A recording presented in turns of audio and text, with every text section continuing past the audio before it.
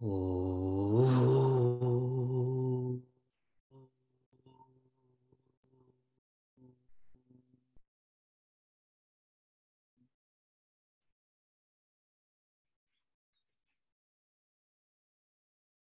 哦。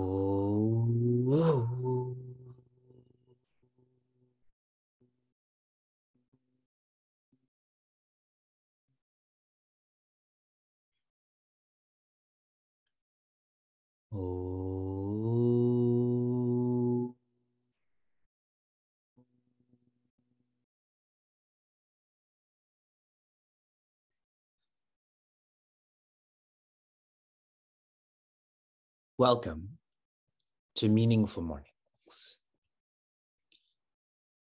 This weekend, I was engaged in 30 minutes of Meaningful Mornings, one hour of Vedanta and Bhagavata, three hours of a spiritual parenting workshop, and 14 hours of contemplation in our silence retreat. So, what is right now? Manye. Eh?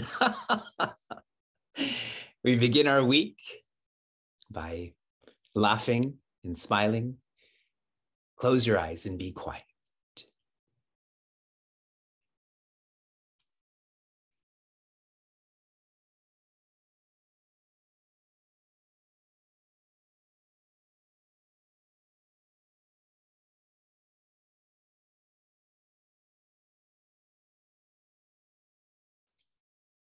Sarve Bhavantu Sukhina. May all be joyous. May all share joy.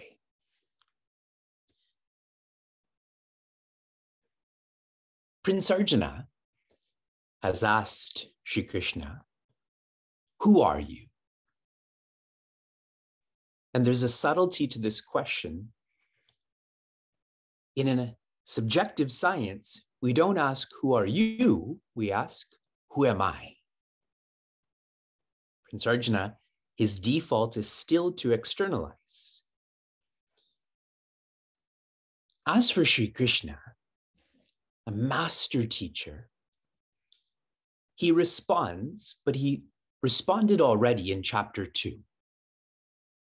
In chapter two, he describes the one who is independently joyous. That captivated Prince Arjuna. Now, in chapter four, he's sharing that's who I am. Instead of directly telling his cousin, I am infinite, I am independent joy, he first describes how this could be someone else, but now he's sharing, this is who I am. Master teacher. Shri Krishna's directly telling Prince Arjuna, he is a avatara. Avatara. A fine English word for avatara is adapter. Adapter. I continue to share with everyone the more someone loves you, the more you love someone, there will be adaptation then. Shri Krishna is an avatara, he's an adapter. He is like this because he's compassionate towards Prince Arjuna, he's compassionate towards us. He has adapted his life, he's adapted the teachings so that Prince Arjuna can relate to them if we cannot relate to the life and teachings of anyone, we'll never be moved by them.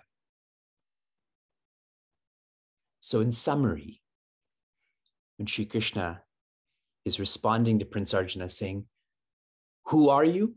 Sri Krishna is sharing, I love you. and now he makes sure that this is clear. Verses 7 and 8 are, are popular verses, they're powerful verses. You know them, you've definitely heard them. We'll explore them. Yada yada hi dharmasya ग्लानिर्भवति Bharat अभ्युत्थानम् tadatmanam तदात्मानं yaham. Quarter by quarter. Yada yada. I hope you note that the word yada is used twice. Yada means whenever, and this is used twice because this law of avatara is not a one time deal. This is continuous, which is why this word is used twice.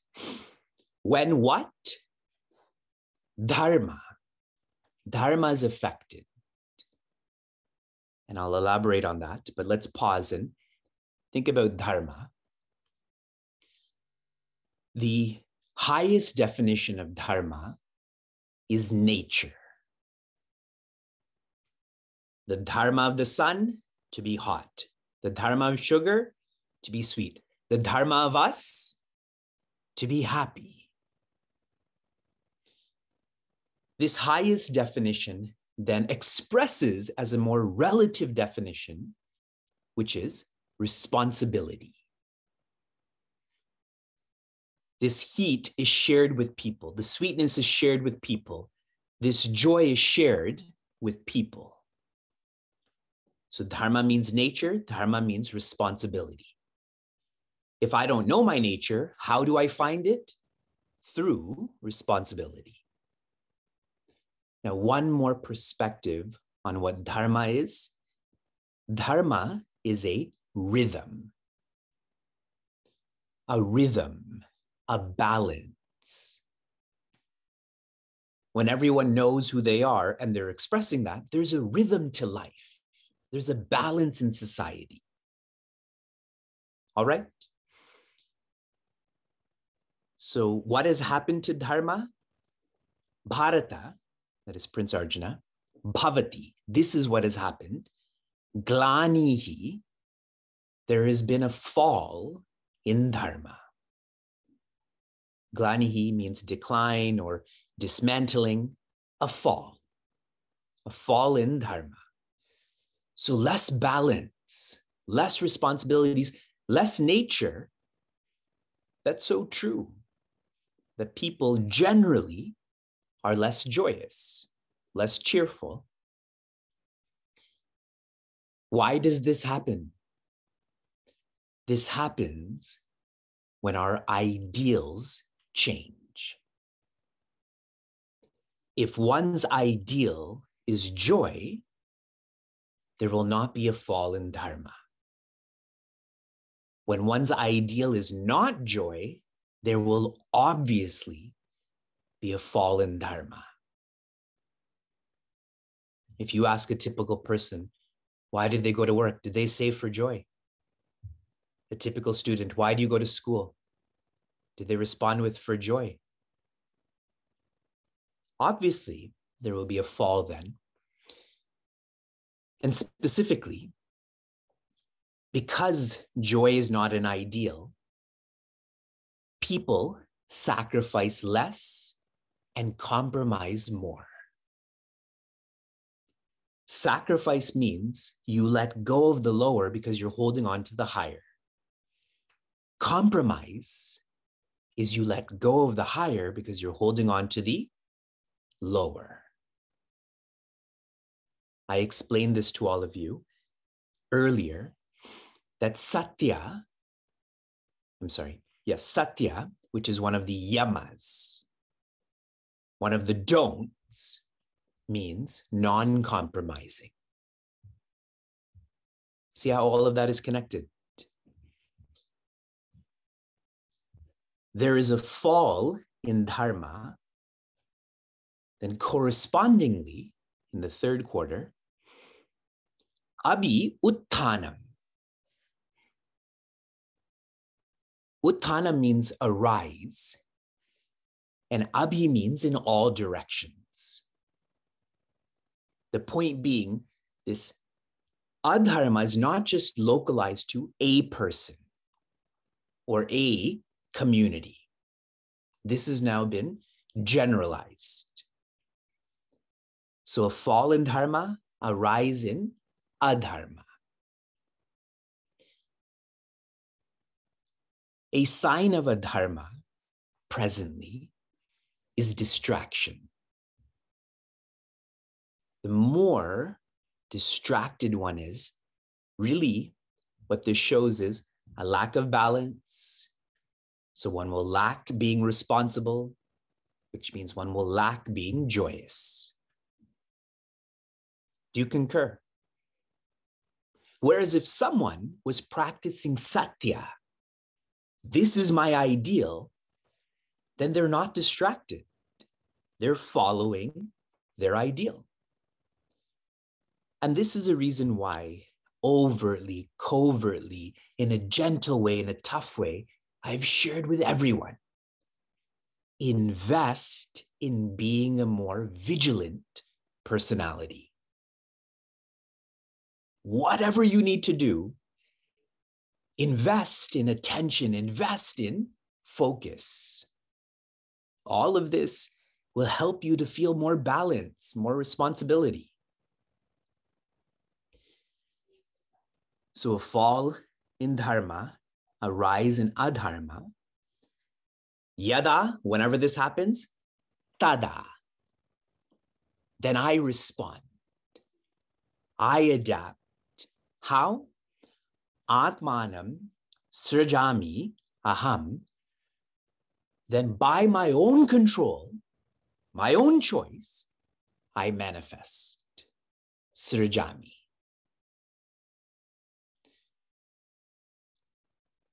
We all know this intellectually. I'm going to share a few more sentiments about why Avatara. Please listen carefully. These thoughts are more causal than gross. Do you remember the three reasons that I've stated thus far about why Avatara? From a karma perspective, it is to protect. From a bhakti perspective, it is to play. And from a jnana perspective, presence. See, even using the word to presence doesn't make sense, correct? Presence is a noun, it's not a verb. So, magnifying this. In Sanatana Dharma, there are 64 creation theories in the Upanishad. Just in the Upanishad, 64 creation theories. Why so many? Because there's that many levels of maturity of those who are studying the Upanishad through Sanatana Dharma. And what is the highest creation theory? there is no creation. The highest creation theory, there is no creation. Now, this is jarring for all of us, but think. All of you accept that a cause pervades an effect. Do you all accept that? Anything that's made up of wood is going to be flammable. Do you accept that? Wood is the cause, it's flammable. If I shape it into a chair or a desk or drywall, it's going to burn. Now, if I think about this more carefully, then, really, is there an effect then? If the cause pervades the effect, isn't there just an effect? Not that I'm wearing gold. But suppose I had earrings on and a necklace and bracelets. And our two year old who doesn't know what an earring is or a necklace or a bracelet, but he knows this shines. He'll say, Look, shiny here, shiny here, shiny here, correct? Is there an earring or is there only gold? Okay. Let's look at this in a different perspective. Right now, the Pacific Ocean is acting very roughly against the west coast of North America. In the Pacific Ocean, there are countless waves. Agreed? All of those waves are in one ocean. You may not know this, but the Sanskrit word for Pacific Ocean is Shanta Sagara. Pacific comes from pacify. Pacify comes from Shanta, Shanta Sagara. That's like bonus insights that I'm sharing with all of you. Anyways, those waves are in one ocean. But if we think about this differently, what are those waves fundamentally? Water. What is that ocean fundamentally? Water. So Shri Krishna is the ocean, Prince Arjuna is the wave. But if everyone remembers, all is water, which is why we have to break this notion of an avatara being born and dying. An avatara simply manifests out of love, adapting to help us to remember